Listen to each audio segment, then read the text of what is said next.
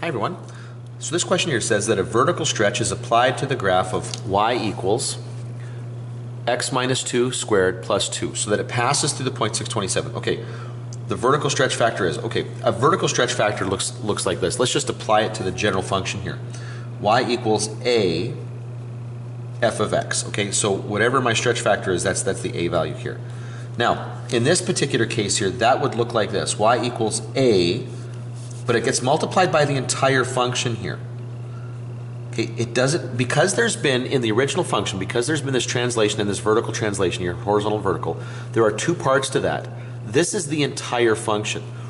If I put my stretch in after those have occurred, and that's what this question is asking me to do, then my stretch needs to apply to the whole function. I can't just put it in front of this.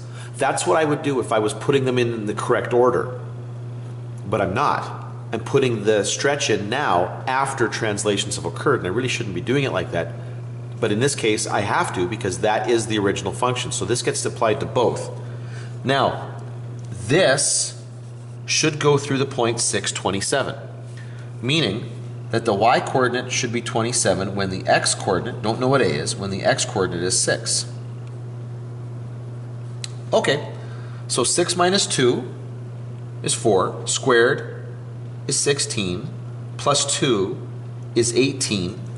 And so I've got 27 is equal to a, whoops, I don't know where my equal sign went there. 27 is equal to a times 18.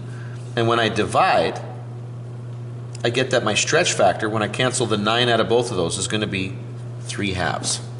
That was the vertical stretch factor in this question.